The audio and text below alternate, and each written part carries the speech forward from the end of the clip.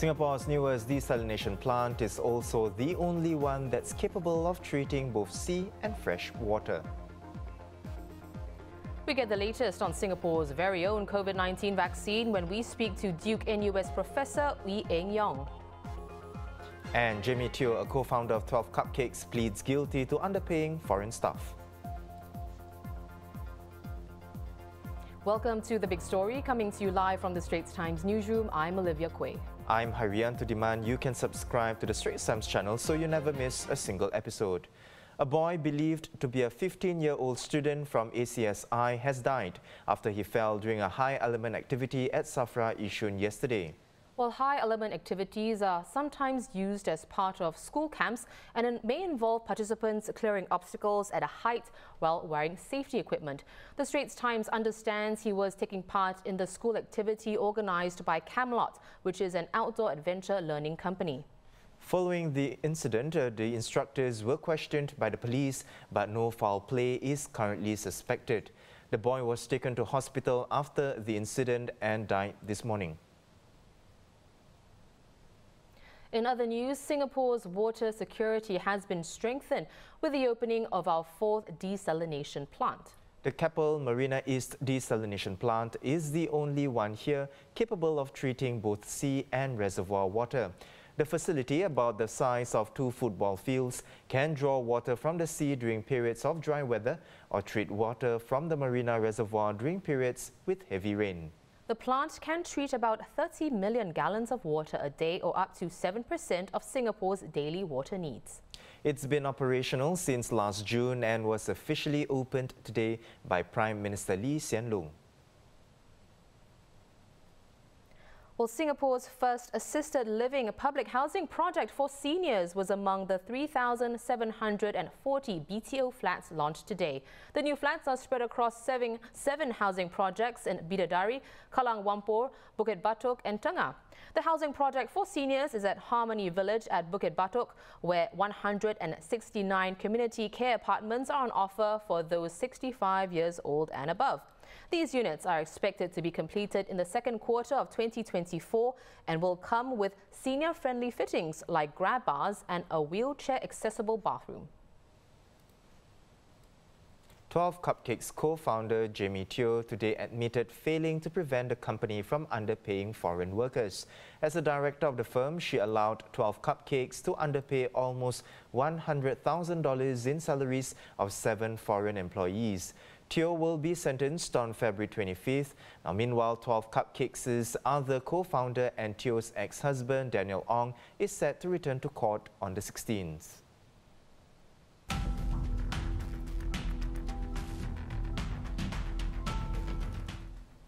Twenty-two new COVID-19 cases were confirmed today. All were imported and placed on stay-home notice or isolated upon arrival in Singapore. More details will be released tonight. Well, we learned yesterday that the first shipment of Moderna's COVID-19 vaccine is expected to arrive in Singapore around March. This after the Health Sciences Authority approved it for use here. As a condition for the interim authorization, Moderna is required to monitor the long-term efficacy of the vaccine to determine the duration of protection against COVID-19. Moderna is also required to continue following up on the safety of the vaccine for a longer period of time to determine its full safety profile. The Moderna vaccine is the second COVID-19 vaccine to be authorized for use by the HSA after the one by Pfizer-BioNTech. There are differences between the vaccines from Moderna and Pfizer, like efficacy, the period between the first and second dose, as well as the minimum age of who can get each vaccine. Right. Well, here to share more is Professor Ooi Eng Eong. He's the Deputy Director of Duke NUS Medical School's Emerging Infectious Diseases Program. Welcome back, Professor. So, as Jan mentioned, there are differences between Moderna's and Pfizer's vaccines, but how significant are these differences actually in terms of what the vaccine is supposed to do?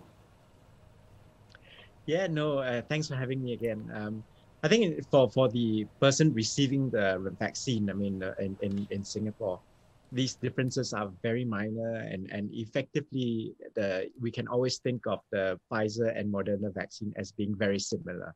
They are similar in terms of the efficacy. I mean, one is 94%, the other one is 95%. Uh, in terms of the the the average, but if you look at the the uh, spread of the data, then there's a lot of overlap. What it means is that there's not much difference between these vaccines. The, the side effect profile is also very similar, um, you know, injection site pain, and soreness, uh, maybe a bit of tiredness, uh, headache, and some people may get fever. So it's very common side effects of um, uh, that we've that we would encounter with any other vaccine anyway, and certainly very similar between the Pfizer and Moderna. Um, so from from the uh, uh, uh, Singapore public's uh, point of view, eh, we, we can think of this as uh, no no difference, uh, no no significant difference between these two vaccines.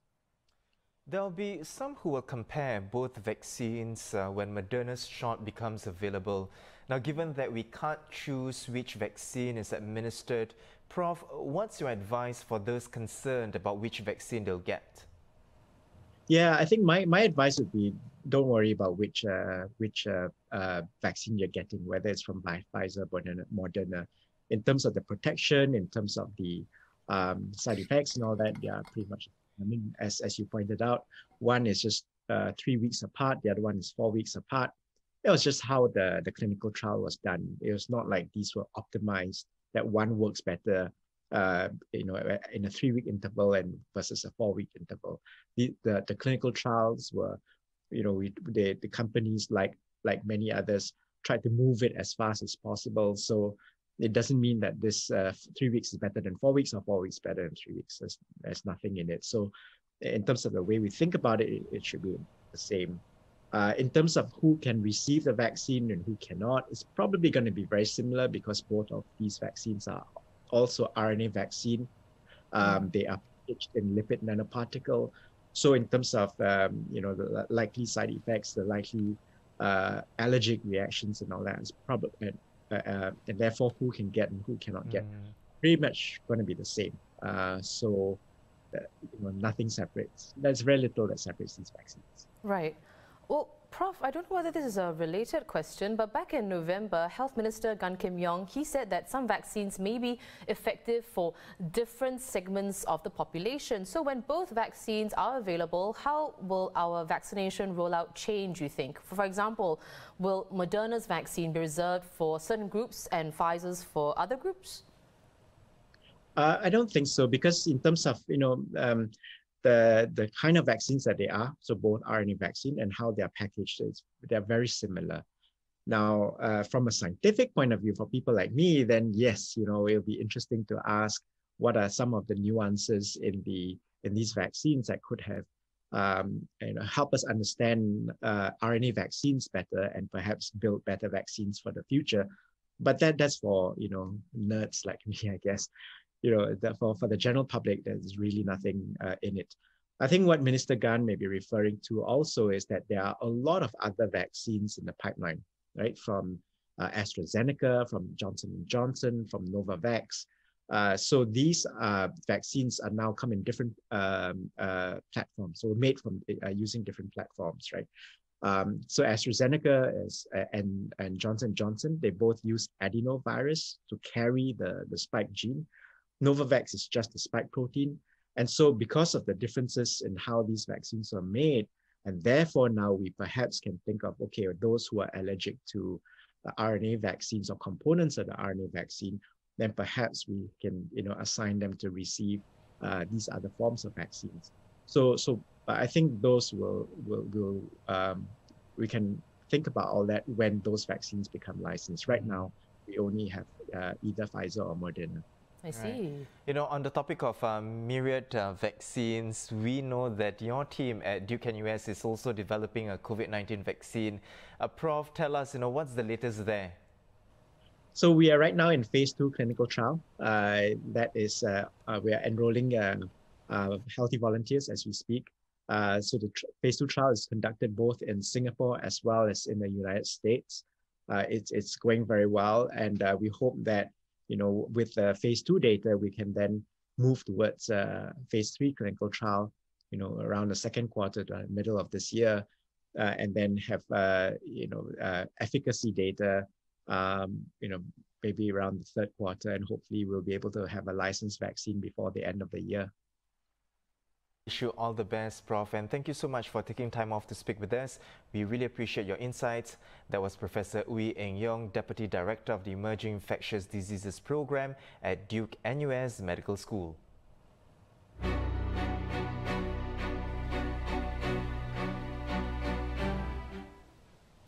In the global headlines, Myanmar's junta blocked Facebook and other messaging services today in the name of ensuring stability following the February 1st coup.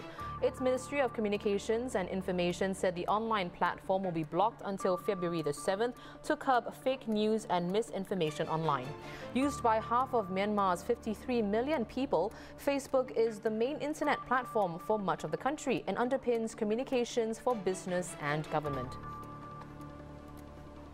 From today until February 17th, four areas in the Malaysian states of Terengganu and Perak are under the enhanced movement control order after a surge in COVID-19 cases. Residents there are forbidden from exiting their homes. Visitors are not allowed to enter these areas and all businesses will have to be shut down. Senior Minister Ismail Sabri Yaakob said the restrictions will allow authorities to carry out targeted screening and place measures to control infection rates. Based on data by Oxford University, there are now more people vaccinated against COVID-19 than those infected by the virus. 104.9 million vaccine doses have been administered, which is 800,000 more than the number of global cases. Israel has given the most number of shots, having administered enough doses for 28% of its population. Despite the landmark data, it remains unclear how long it will take to vaccinate the entire world, and many of those vaccinated have received only one of two doses required. Meanwhile, Britain is testing the immune responses generated if doses of vaccines from Pfizer and AstraZeneca are combined in a two-shot schedule. The trial will not assess the overall efficacy of the shot combinations, but will measure antibody and T-cell responses, as well as monitor for any unexpected side effects.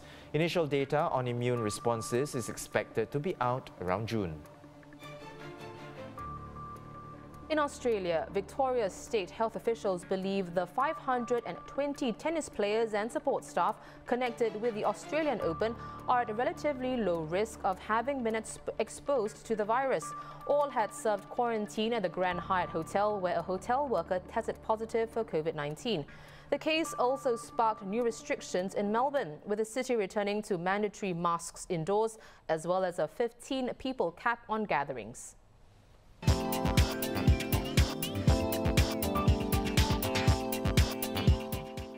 It's Thursday, which means it's time for this week's Life Picks. Now, Olivia, I know you're not opposed to tattoos, right? But have you considered getting one that is hand-poked? Hand-poked? Mm. I don't know honestly because it sounds like it'll take longer, but the technique could actually be more precise. Mm, yeah, but I think we have to hear more from travel correspondent Clara Lock. So Clara, what are the pros and cons uh, of hand-poked tattoos when we compare it to, you know, the more common uh, ones that use um, the electric guns?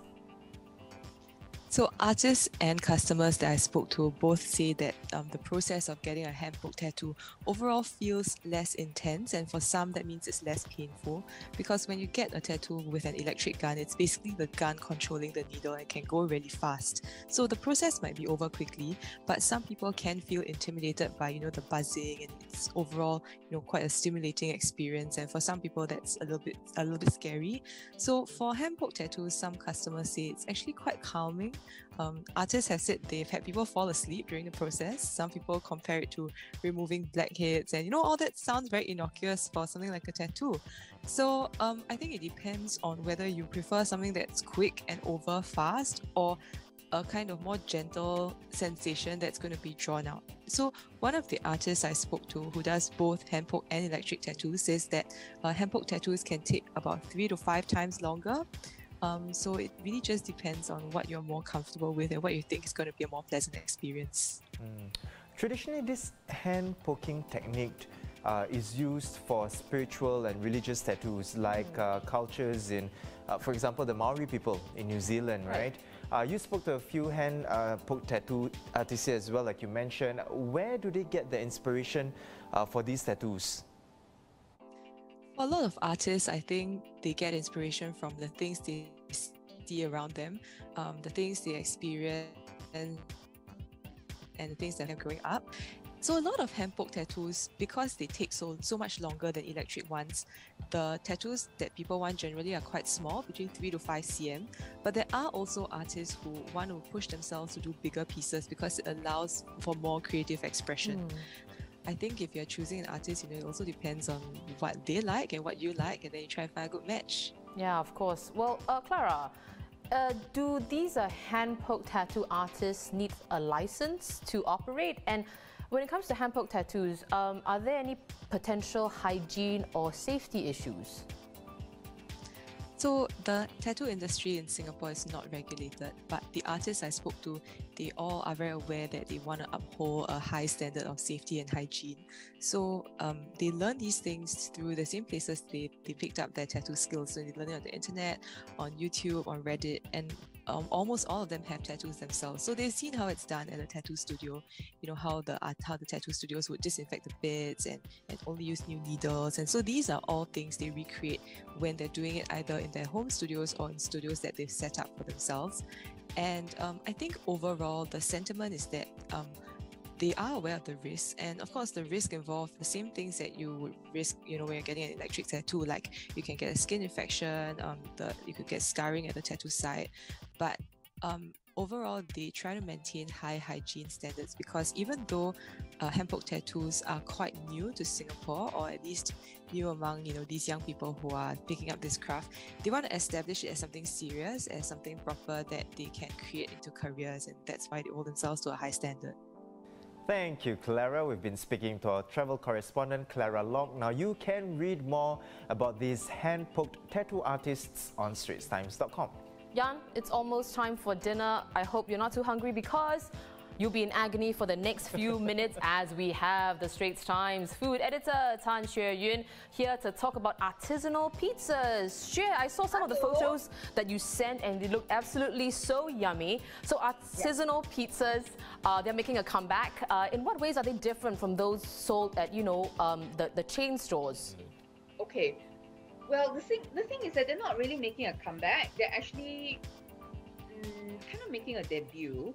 Uh, I mean, you know, you have really, you have, we have had really good pizzas at Mozza, um, and a couple of other places. But um, see, these new uh, pizza places um, kind of opened by Singaporeans, you know, and um, what differentiates their pizzas from the chain ones are that the dough is fermented over many hours, sometimes 48 hours, sometimes, you know, more than 12. And that long, slow fermentation develops flavor in the dough. And um, honestly, the dough is sometimes even more important than the toppings.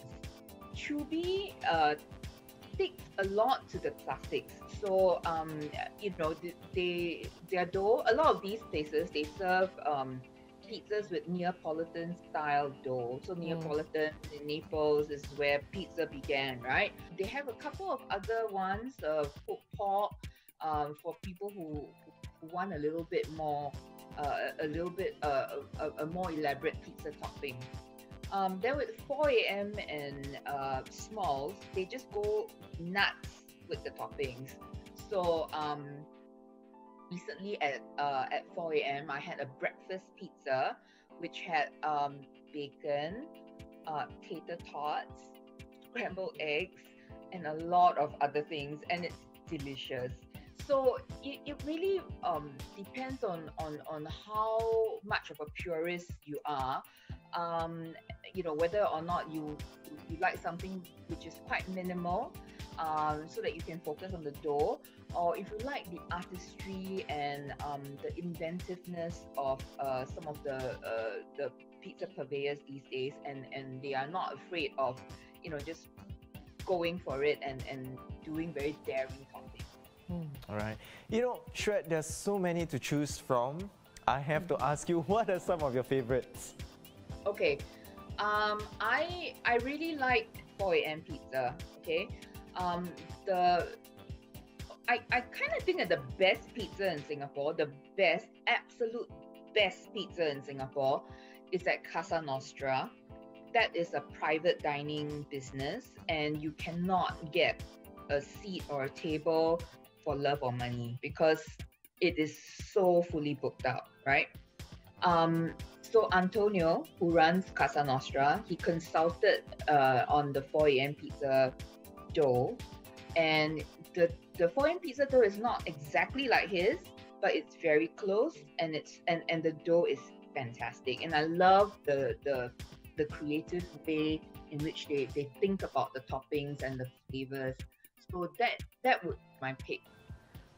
Well, thanks for whetting our appetites there, Xue. That was Tan Xue Yun, food editor for The Straits Times. We have a long weekend coming up next week and journalist Jen Lee is here to share more about a film that's just been nominated for four Golden Globes, including Best Motion Picture Drama category. Well, Jan is talking about Promising Young Woman starring Carey Mulligan. Jan, we know you're very excited to catch this one. As Jan said, it's been nominated for four Golden Globes. What are the strongest points in this film? Okay, so um, it's actually a, a like sort of rape revenge film, which sounds like a bit odd on the surface, I know, but it's basically about this young woman promising. You know how in rape cases people always call the perpetrators of sexual assault promising young men to try and like um, you know say like what they've done is not as bad to ruin their future. So like the title is a bit of a trope, like a play on that. So it's called Promising Young Woman. So it's about this woman who basically dropped out of medical school uh, due to some sort of unspecified trauma at the start of the film you will find out what it is late as the film goes on. And um, it's just like about how she pretends to be drunk at clubs and she hooks guys who are trying to take advantage of the fact that she's drunk. And then when they bring her home, she like sobers up and the men are like really scared that she'll hurt them or something. So over the course of the film, you'll find out why she dropped out of med school. You find out why she's embarked on this journey of like vigilantism almost. And Jen, the film talks about sexual assault, uh, not an easy subject to navigate. How does the film fare in this aspect?